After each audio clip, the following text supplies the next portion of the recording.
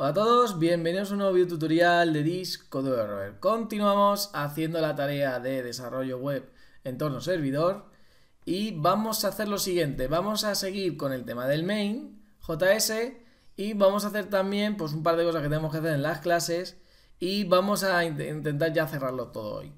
Bien, lo que voy a hacer es lo siguiente, recordad que cuando nosotros hacíamos el console.log había un fallo y era que nos devolvía como los objetos como vacíos, ¿no? Entonces tenemos que hacer una cosa importante y es que en cada de estos objetitos que hemos creado tenemos que hacer lo siguiente, fijaos.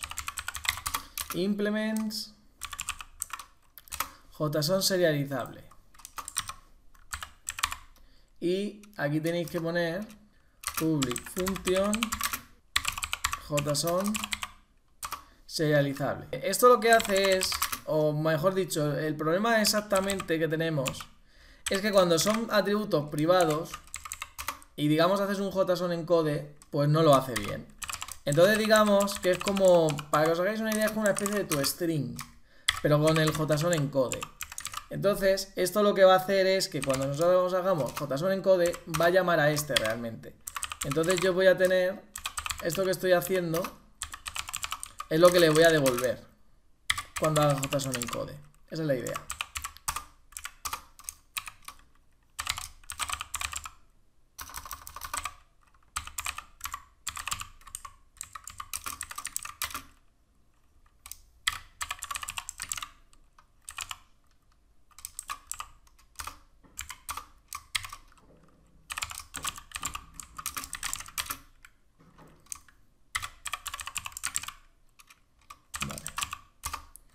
Y de país.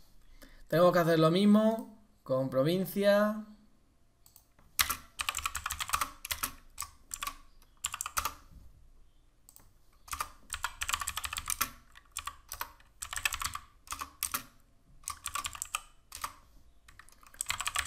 Pues esto.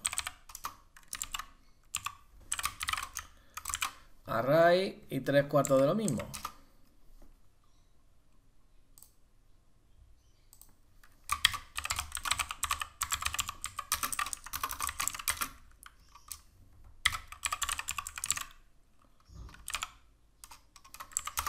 Y de provincia. Y bueno, cada uno con el suyo.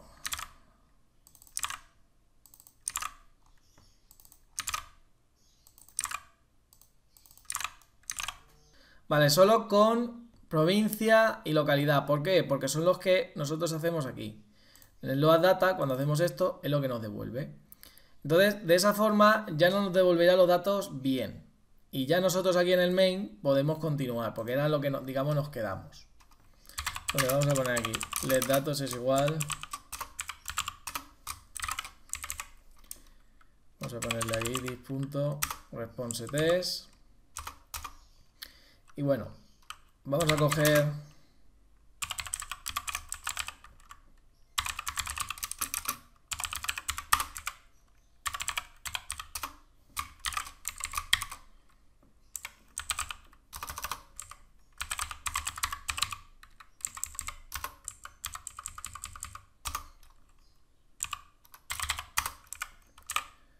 vamos a poner esto. Y esto es para borrarlo, ¿vale? Para, digamos, iniciarlo.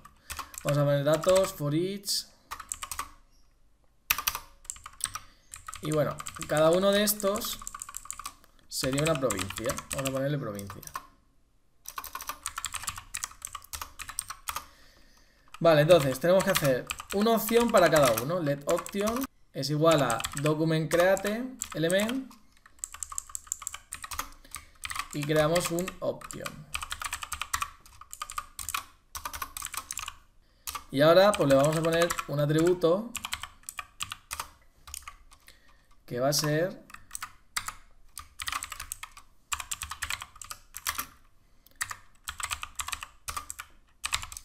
el ID provincia, que es lo que hemos puesto antes.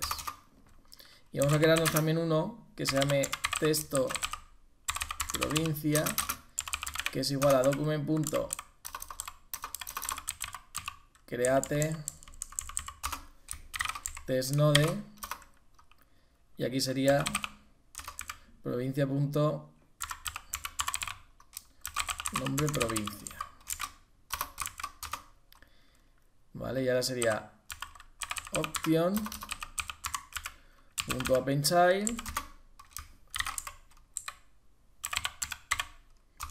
child texto provincia. Y ahora sería el select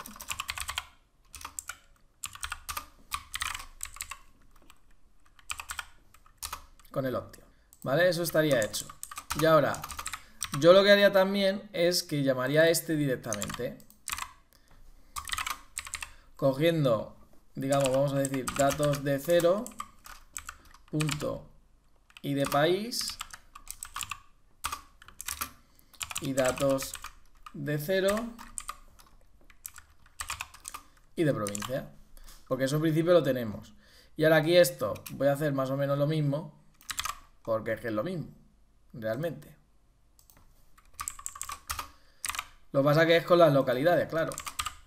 Entonces sería esto, datos, esto sería sele localidades, le vamos a poner. Vamos a poner localidad.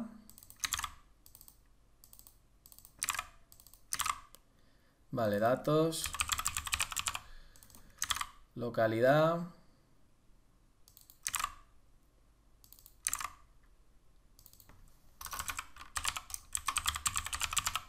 Aquí sería nombre, localidad. Y aquí, pues eso. Texto, localidad.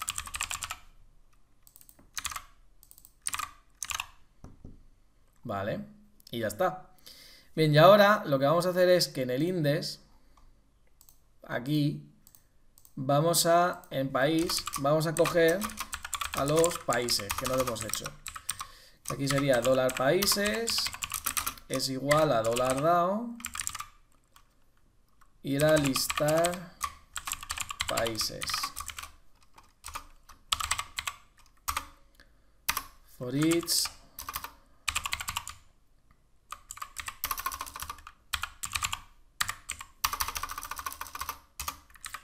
Lo que voy a hacer es echo. Y vamos a poner una opción.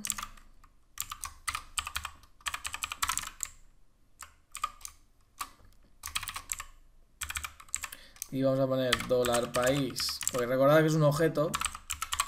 Esto sería nombre. Y ya no me acuerdo cómo le llamé. Sería nombre país. Y aquí sería value es igual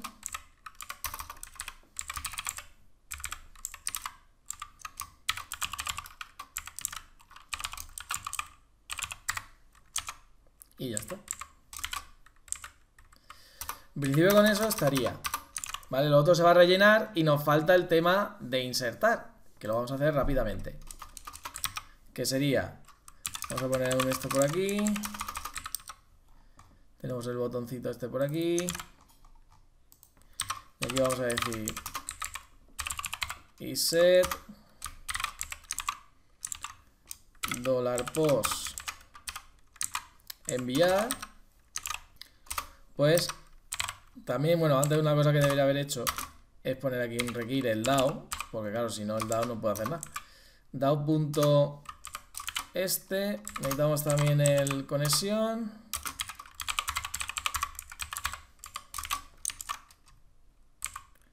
Y también vamos a necesitar alumno.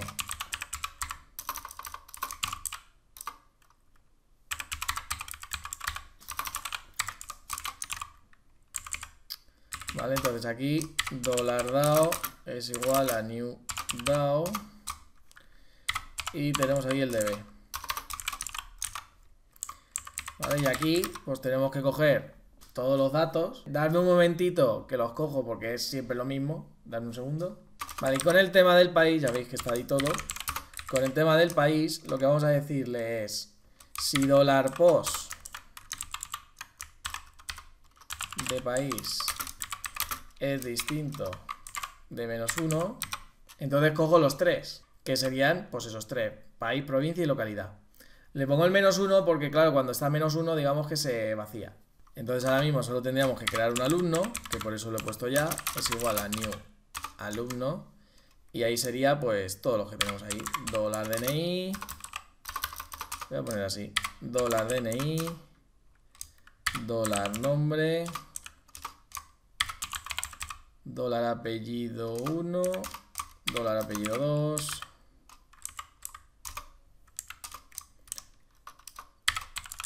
Dólar edad, dólar país,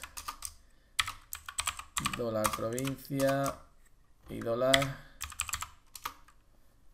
localidad. Y ahora dólar DAO. Aquí insertar alumno, dólar alumno. Y si no, pues un eco. Eco debe seleccionar país.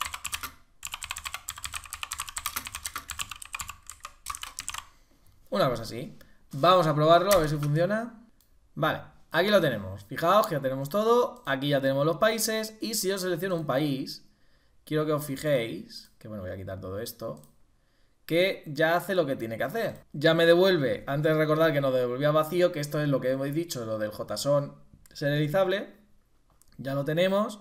Y cada vez que cambiamos uno, fijaos que esto cambia también. ¿Vale?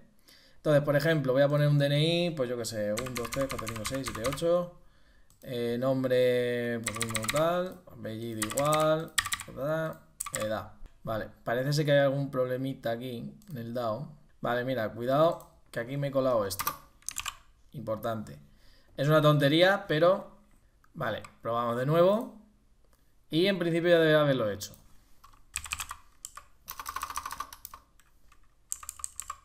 Y como veis, pues aquí tenemos el alumno, ¿vale? Le he puesto todo esto, país 1, provincia 2 y localidad 2. ¿Vale? Eso está bien.